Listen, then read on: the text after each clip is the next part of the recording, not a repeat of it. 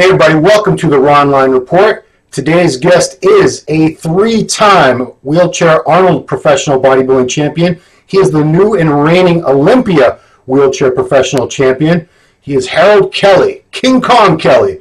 How are you, sir? I'm doing wonderful. How are you feeling, Ron? Doing great. Uh, now, I'm, before we get into your, your uh, background and all that, I'm looking at your contest record. It looks like there have only been 12 professional wheelchair events uh, held. Is, is that right or am I off? Uh, a little bit. Um, they have been, I don't want to be wrong myself, um, 17. Oh, okay. I want to say 17. I won 14. Wow. Three of them, two of them I didn't compete in, Yep. and one one I didn't win. Now, the one you didn't win, did you just not pose? You want to let the other guy win? Well, No, I lost. That's, I'm not going to go into what other Okay. Because I'm seeing the record. It's like win, win, win, win, win, third place. Like something must have gone wrong that day. I don't know what. Harold must have been having a rough day on that particular day. But uh, so, yeah, l- let's get into uh, before you became a pro bodybuilder and all that. How did you first get involved in weight training and bodybuilding and all that back in the old days? Um, I played football a little bit, um, high school and college, and then you know I started uh, um, modeling a little bit. So I always kept myself in shape. And, I mean, going to the gym was mandatory. Okay. Um, and then I, uh, a lot of the guys was doing the another different league, uh, NGA league, and then they was, you know, asking, do I compete? And I was like, no. And they was like, you should, you know, you look really good. So, you know, I took their took their words for it and stepped my footing with that, and was doing really good with that. And then had a car accident in 07. Yeah, I see. Uh, in 2000, now were you living in? Uh, you're from South Carolina originally? Right, and we moved to South, we moved to Texas in 05, Okay. and then I had a car accident in 07. Because in 06, I, you know, I looked up your contest history. There's a great website called musclememory.com. And Yeah. it, it's not always complete because, you know, they don't have every single contest, but I found some good stuff on there. You were uh, second that year in the NGA Southern States Natural. And I think that was as an amateur. And the other two shows were professional shows. You were fifth in the NGA Universe, the Pro Universe, and they had a Natural World Championships, took sixth place. Um, Yeah. so, you know, was that your first year as a pro? Did you only compete one year as a pro at that organization? Um, let's see, oh, uh, yeah, one complete year. Okay. One because I was getting ready for my other show, the Ultimate Bodies by Carlos, that I felt real good, put a little size on, and two weeks out, no, a week out, actually a week out from September, I was supposed to go to Atlanta. That's when we had a car accident. Oh, wow. Yeah. Okay. So uh, let's talk about that fateful day. It happened in Oklahoma. Yeah, um, um, I was going to. Uh, we was taking uh, my wife Anna up to uh, her aunt's house in in uh, not in Arkansas, and we had to go through Oklahoma. And uh, on 69, you know, a lot of the a lot of the uh, 69 is a is, is a road that doesn't have fences on the side, so a lot of you know deers and fox and stuff run across the road. So I caught myself trying to miss the deer and hit the grass, spun around in the car, and ran off the side of the ravine and hit a tree. And the seatbelt is what uh, giving my seat seatbelt lasher or whatever you call it. and Yeah. pinched my T7, T12 vertebrae. And um, actually, I had to get me, my wife, and my daughter out the car um, um, instantly. Um, but the crazy part about it is, I stopped just before that to get me get a honey bun and a honey bun and some milk Huh. and and get back in the car. And, and I knew where I was at because I was only like maybe 15 minutes down the road when it happened. Yeah. So I, I had to get my phone out, tell them where I was at, felt my legs. They was numb, and um, I couldn't feel them. Feel like feel like feeling someone else's body. And uh, then my we pushed my daughter out of the window. She went up the hill to flag someone down, Hmm. and um, while she was trying to come back, she was screaming that the car was on fire. What? Yeah, and we didn't even know it. Then we then I could look my foot. My foot was you could see it coming through the where the gas pedal was right there. So Yeah. we had to get the seatbelt loose, pop the seat back. I had to slide back out the back glass, get my wife out the side window, um, and then we went into a cubby hole um, until someone came down and got. So the the vertebrae that the spinal injury happened because of the seatbelt. Yes, the impact when you hit real hard, the seatbelt pulls downward. Yeah. Being I had the heaviness of my upper body, my torso swung forward really hard, and it it it it, it, it popped it and it shifted. Hmm. But it popped the spinal cord. It broke a vertebrae. Okay. So when it when it did that, it shifted the spinal cord, pinching it severely. That's why I cut you know all your circulation out to your to your bottom half. Wow. So you know, Yeah. sometimes they say in accidents like these, being large and muscular like saves you from further damage. Did did they tell you that that things would have been worse if you weren't muscular, or in this case, did it make it worse because you were heavy and you had that that uh, physics type of uh, effect with the body snapping forward and back like that? Right, right. And again, you know, I wasn't the big, big guy. I was only like what?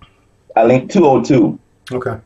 You know, if you was like maybe 260, 280, then the solidness would have been a big you know, difference. Whereas I would, I did go for it. And I'm six foot, so Okay. two foot, so I'm kind of lanky still with a small waist.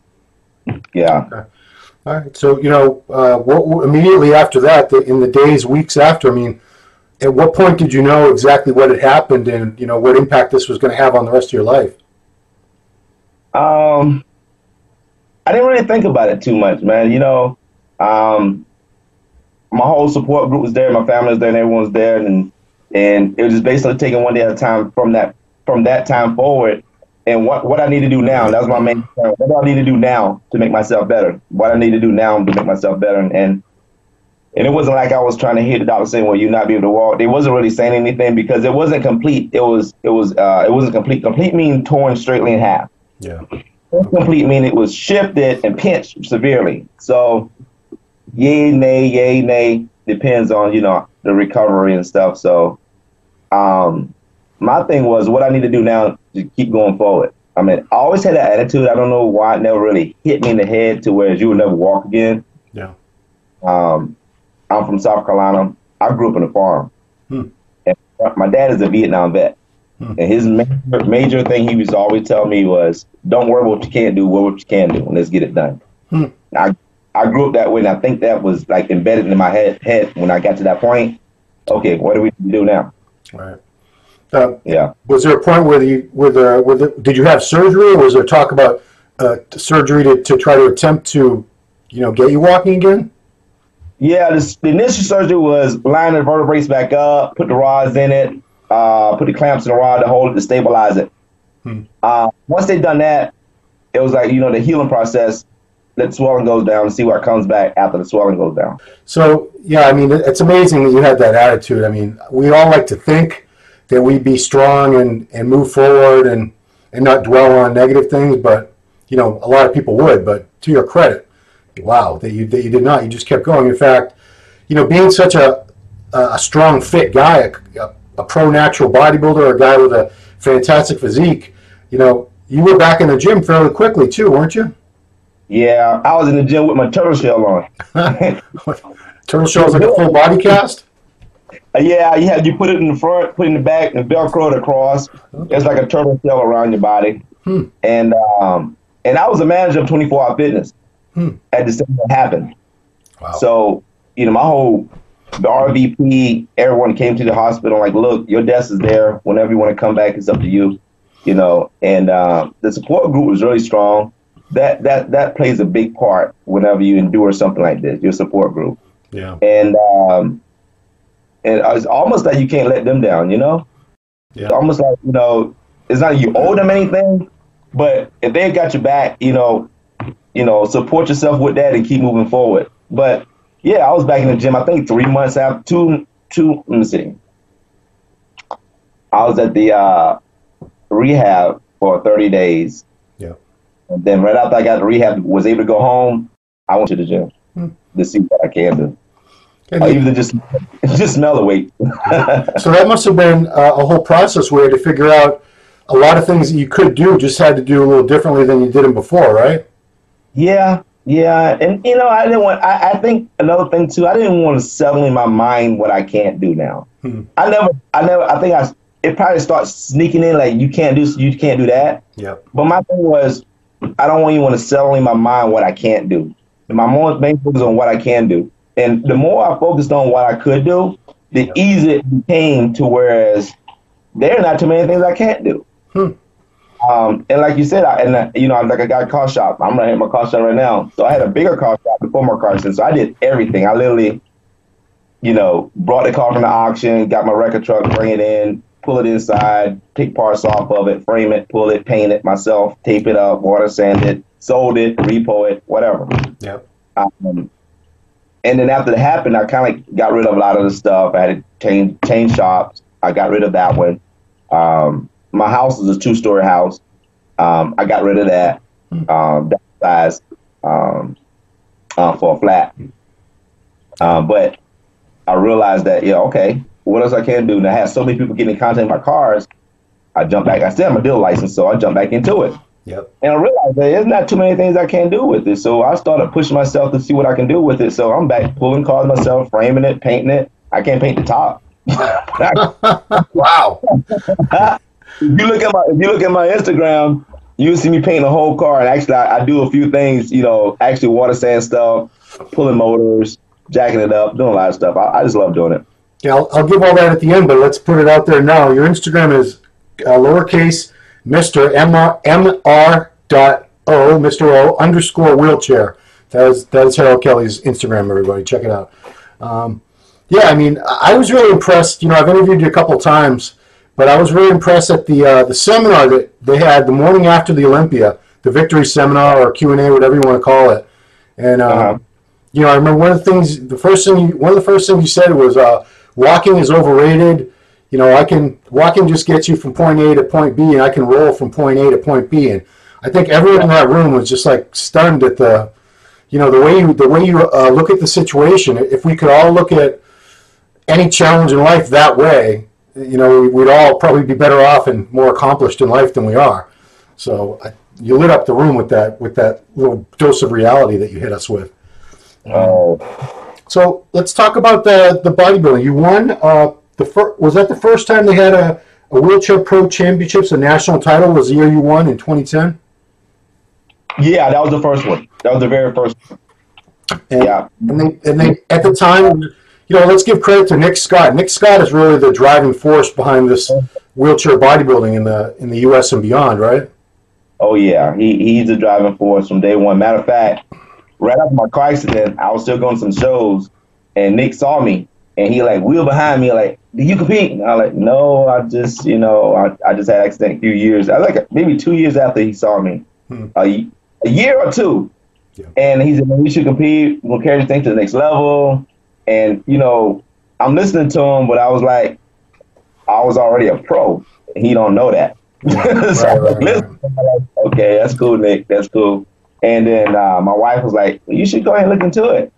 And I said, okay. I said, we'll we'll look into it if you think it's good. Because my wife, you know, she she she was by my side um, since day one. Yeah. And um and um man, she she really uh she really helped me through this. I think that having that really strong force with me really uh propelled me to where I'm at right now. And Yeah. especially my mom, my sisters, and friends. But get me wrong, don't get me wrong. I give them 100% credit and God them being number one. Yeah. But having that right beside me the whole time, man, it it it, it made a heck of a difference. I mean, you know, I, I definitely give any any any spouse who stands by their their mate through you know anything like whether it's an illness or an accident, a disability, whatever. I mean, I give them a lot of credit, but you know, at the same time, I think it would have been a it's it's a different situation when the the spouse who's dealing with whatever is really angry and bitter and depressed, and uh, you weren't. So you know, you were you kept your spirits up. You were positive. You always you, you just kept moving forward and figured what what am I doing next? What can I do? What can I do? Instead of what can't I do? So you know, I think you it's a special situation you guys had mainly because of your attitude, but absolutely Right. give her give her a ton of credit. That's Anna Anna Kelley, everybody. I like it. Anna underscore Kelley. What, what's her last name? Anna Anna Kelley. what? It's, it's I get the did I get the name right? Anna. A N A. Yep, Anna. Okay. Uh, so 2011 was when they started the professional contest for wheelchair bodybuilding, and I mean, Right. you know, I, I'm sure you had no idea what to think of it. You, you had no idea who the other guys were going to be. I mean, you had been a pro in another organization, so what was going through your head when this was all coming, starting to form, and, and it was becoming a reality. You're going to be a pro in the IFBB now. Man, to be honest with you, man, um, it didn't hit me hard until like literally way after. But there, actually going to it and preparing for it, mm-hmm. and when I got there, you know, uh, Greer, uh, Jason Greer yeah. looked phenomenal. Um, Ludovic looked phenomenal. You have big, uh, my big from Germany, uh, Dan. Yeah. Dan there. Um, Nick was there. Um, you know, and I was I was lean and smaller. Hmm. And so, be, to be honest with you, I wasn't even looking for the win. Hmm. I just wanted to compete. I just wanted to compete. You know, show up. And I was hearing about you know Jason Greer, and he looked he looked really good. He looked really good. Yeah. And you know, coming into it, I was like, okay, I just want to compete, get back on the stage, you know, do what I do as pastime, go back to the gym, work uh, at my shop. I'm good. This is a hobby, you know good with it because I worked that all my life. It wasn't like you know uh, I jumped into it just for that. I've been doing this. Yeah. When when, when the judge saw my condition of my muscles, you know, one of the judges literally told me he said he could tell the difference in your muscle and someone else, hmm. and your just just your your your overall flow of muscle being that you've been doing this for a minute. It wasn't no overnight build here. Yeah. I mean, you started yeah. training. What? It's uh, I, I read one place, 1990. You started training. Was that right? Yeah, so yeah. You know, so by the time you got on stage as a pro, it had already been a good, you know, over a dozen years, basically, or about a dozen years. So, you know, what, at, at what point were you winning so many shows that you realized you're kind of dominant at this? You're kind of like the the Ronnie Coleman or the uh, Phil Heath of this wheelchair bodybuilding. Just very, very tough to beat. I think after the, uh, it really it really dawned on me after the fourth, the fourth or fifth win. Mm-hmm Oh, and uh, me and my wife talked about it, you know, and you know I'm very spiritual, man. And when you know that God put something in you, and you actually tapped into it, you really tapped into what God put into you, then that I realized I need to even make this better because there's a reasoning now. It's not just because it's not just for me. It's more than just me now. And when I realized that, that's when I wanted to take it to another level myself, and I really did. And being able to, you know, talk to more people and give them explanation from the backside of this, not just the foresight, the backside of it. And I used to get a lot of when I thought I thought bodybuilders was, was stuck up and arrogant. So I said, no, that's a myth, man. I don't believe, don't believe everything you hear, man. It's, it's, that's not the reality of it. Yeah. And you know, just to talk to people in the middle of my workout, I stop because again, I, I recognize what this what this blessing is. So um, I don't worry about the about the big, big, the big wins all the time. Don't get me wrong, get ready. I'm, I'm one of them. Yeah. But it's more than that.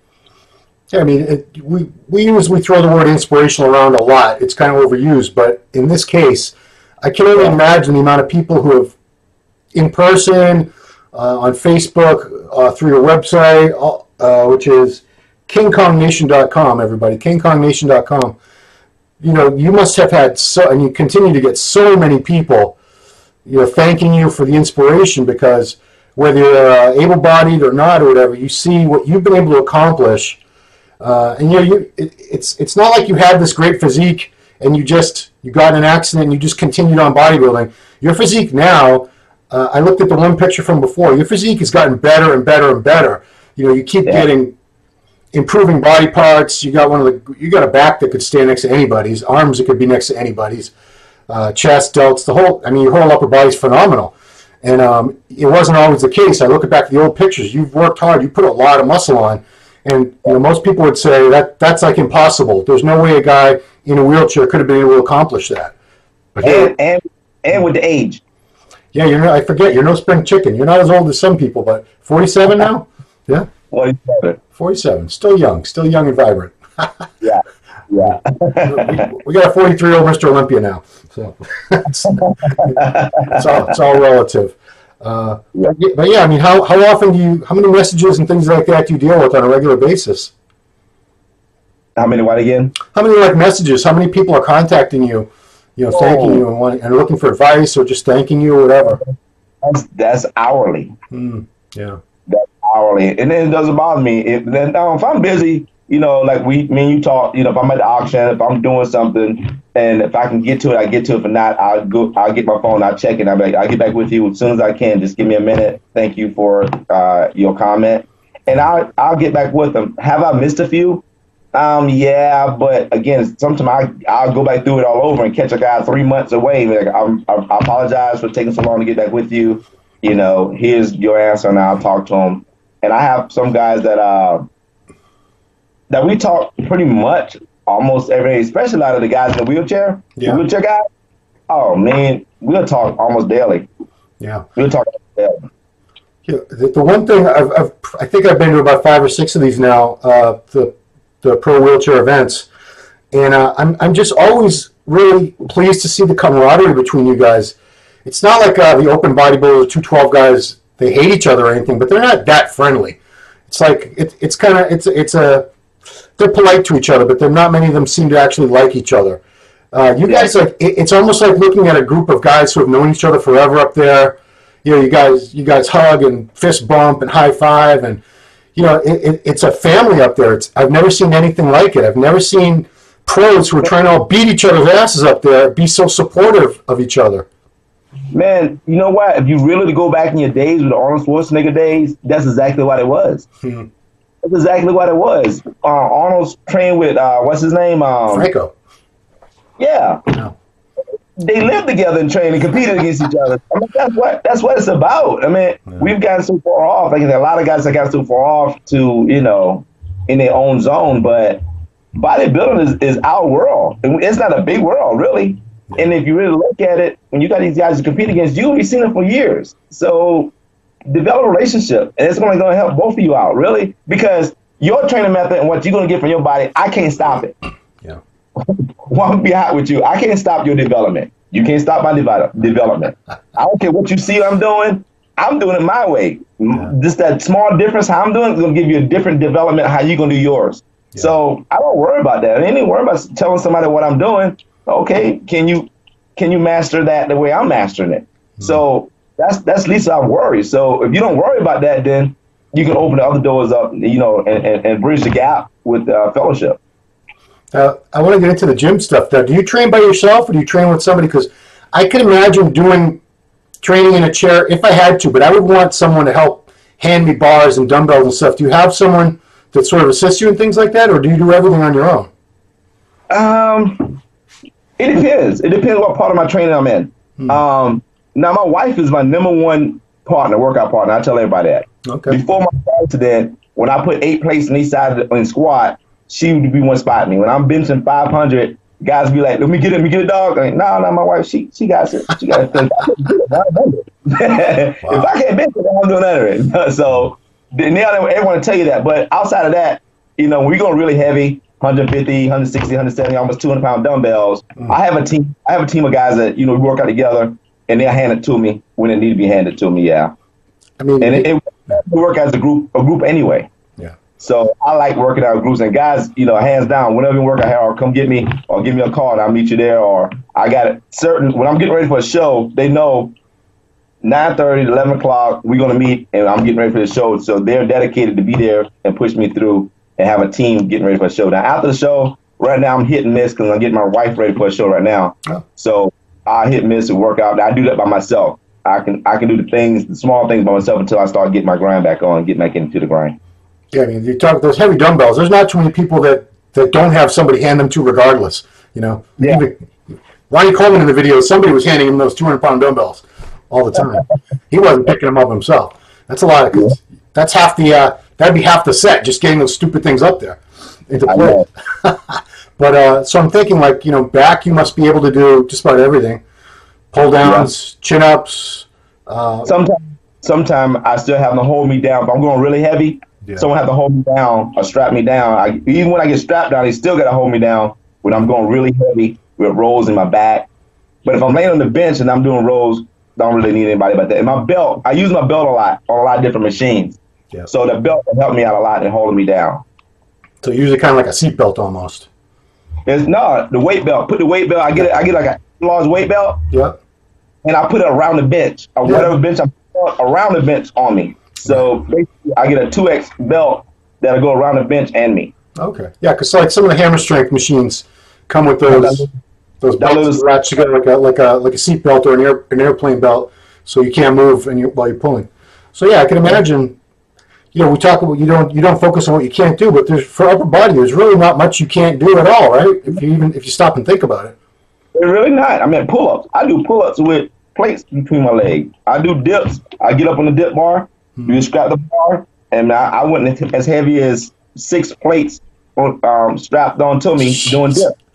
So I, I don't know anybody that's done that. That's ridiculous.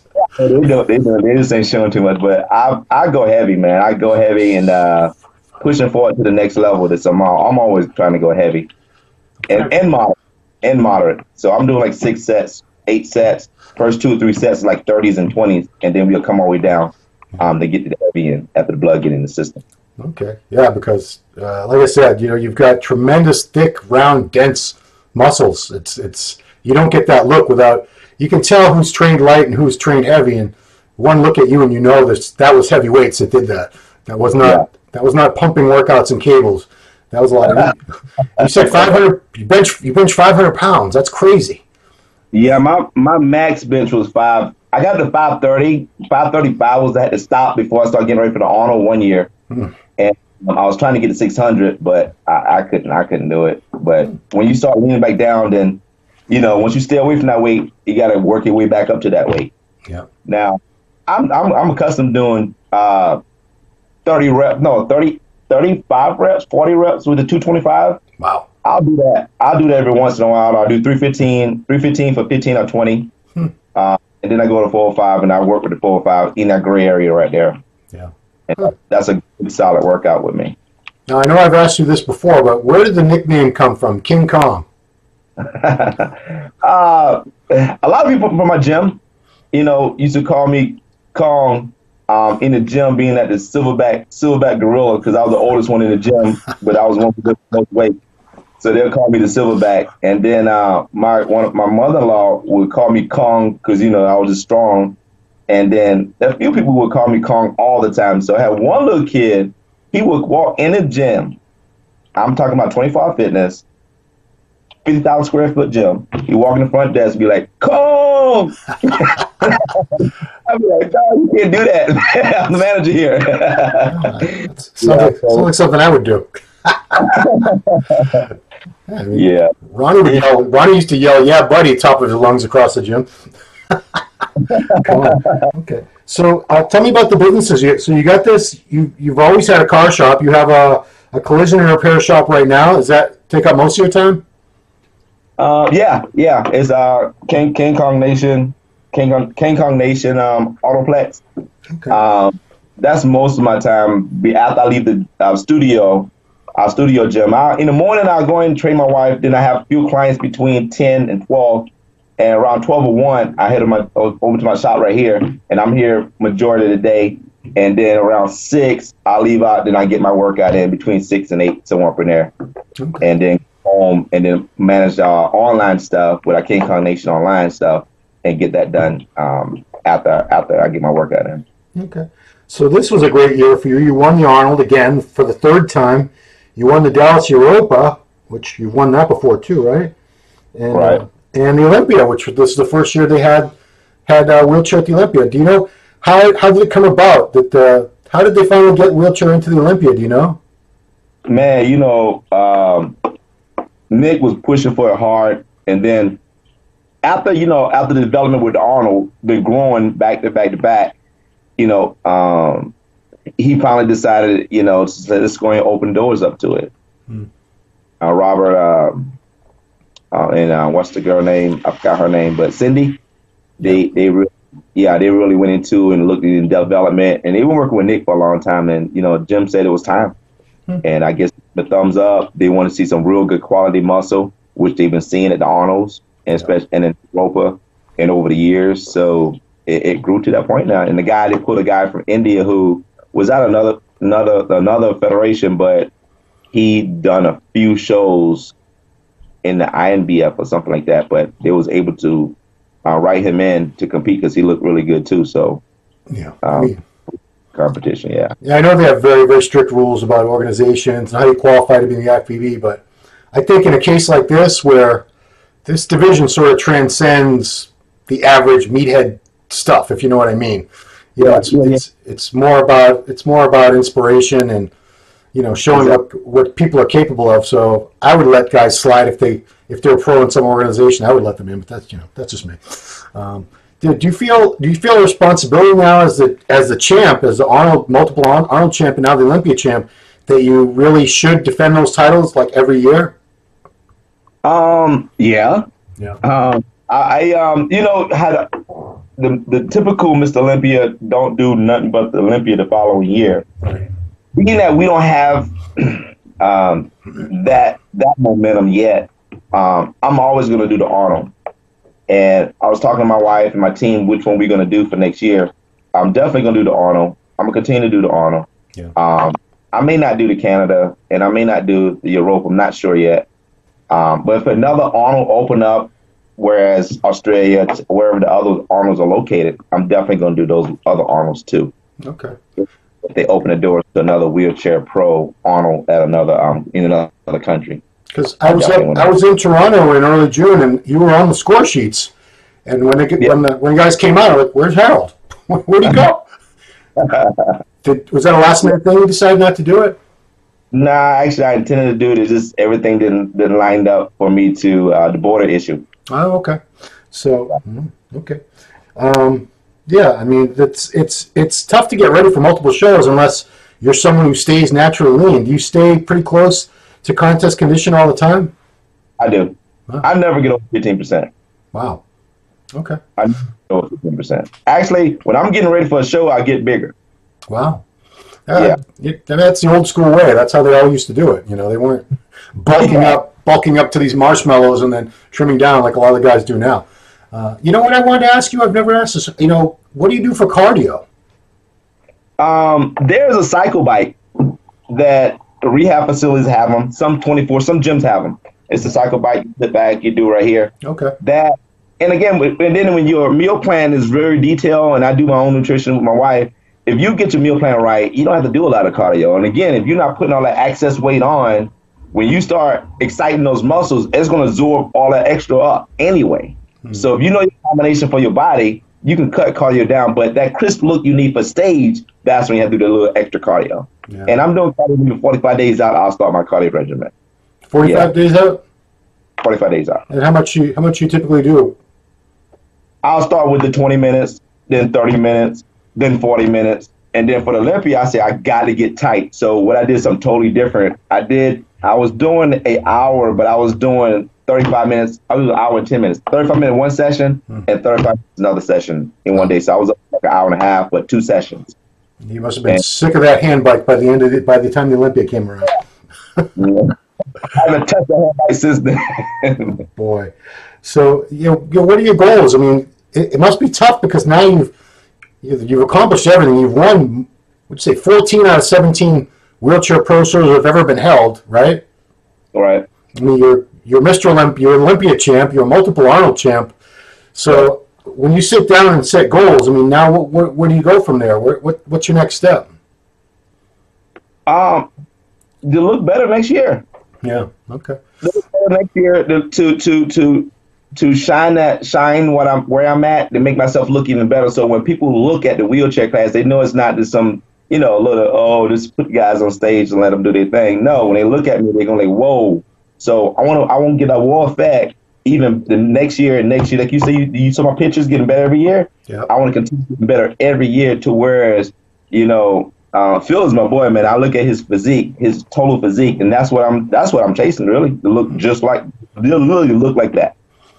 You know, have the belt- belt muscles, full all the way around, good size, all the way through, wide back, dense back, um, you know, and sharp and detailed, like you know what Sean brought to the table this year. So. I'm I'm always trying to get better. That's that's my goal to get better every time I hit the stage, and I'm gonna hit the stage every year until I can't do it anymore.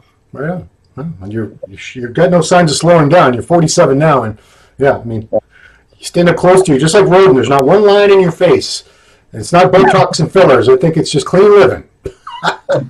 You're right about that. I stopped. I stopped drinking sodas and stopped eating pork in '92. Wow, good for you, man.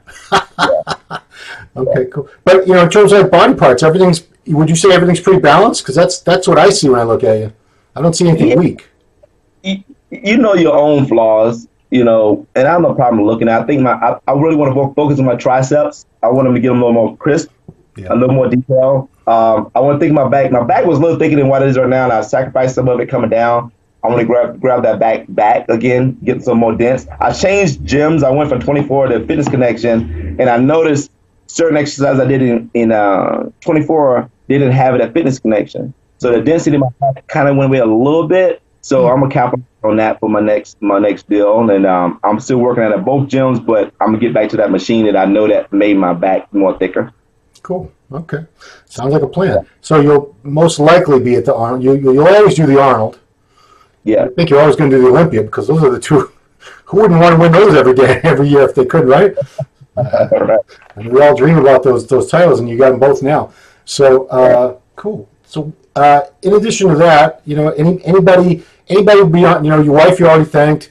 Who are some of the people you would you want to thank that have been on your side on your team for the past few years that have, that have helped make your success possible? man. Um, just some close friends of mine that always been there, man. They've been working out with me um, since day one. It, the family, my family, my main family, my sisters, and my uh, my mom. You know, they really support me in what I do. Hmm. Um, my little workout teams that develop over different years, and it changes. Yeah. Um, um, a guy named Mahesh was always there. Actually, he was paying me to train him, but he was always working out with me to hand me my weights. so, but he was he was a big a big uh, contribute in regards to helping me work out every day. And um, you know, Andrew, I got Sean that worked out working out with me now. Um, and over the years, man, just a few people I can't really say right now, but you know, Okay. my team, my, my support group. Whenever I hit a gym, they're always there for me, and it's a lot of them. That's why I really can't name all of my name. Yeah. It's a lot of them. They'll jump in the boat with me and work out with me, give me support, always be right there, man. And and and whenever I go, they're ready to work out with me and hand me the weight that I need, man. So, yeah, um, 24 hour fitness family, I would say, and now I'm a fitness connection family, I would say. Okay. So you know you're you're the ambassador for the division. You're the clear champ of the division. So where do you want to see it go and grow? How how can it be? How can it become bigger and better than it is now? Um, a couple of guys, a couple of us guys was talking about really um, giving back, giving back, and we want to do more. You know, speaking at a different facilities, you know, disability facilities, uh, especially for children, um, going to these places. Whereas a wheelchair group going to these places to let them know what they can achieve, and um, speaking more life into um, a lot, a few people who is disabled Yep. and um, and being able to do a little more than just win a championship, man. Just give back by speaking and giving inspiration to those people. Right on. All right, cool. So let's give everyone your social media. You have KingKongNation.com is your website, Right. And, and your Instagram is Mister under it's uh, Mister dot O underscore wheelchair. Uh, Right. Do you have a YouTube channel? Yes, my YouTube is Harold Kelley. Okay. And everybody, that's K K E L L E Y. You got to add that extra E in there. E Y. Yes. And I would love for the guys to subscribe to it, build that up so we can, you know, show videos to guys who are in a wheelchair. They can see exactly what, what else they can work on, how they can get on the machine. And a lot of guys just want to know how they get on the machine, how what am I doing. So when they go to my subscribe to my um, my YouTube, Yeah. they'll see a lot of things in detail. You know, how I get on the machine, how I put the belt on. You know, talk about T level injuries, injuries. Because uh, the T level injury is, is very uh, how can I say it's, it's very complex because the higher it is, most guys will see a guy on stage and he have a gut in the wheelchair. Well, he can't control that if he's like in a six six injury. Mm.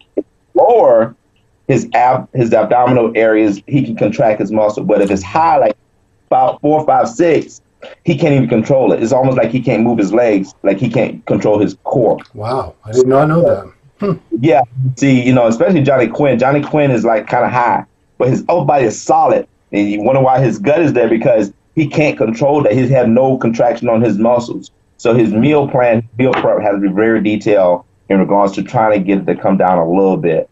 Um, so that's a big play in in in judging. The judges got to know which guy um, level is because, for instance, like I was talking to Johnny, whereas he has to win literally the big poses and then take the take the hit on the ab pose because he can't do anything about it. But if he win first, first, first, first in all the other other other positions, he'll do really good.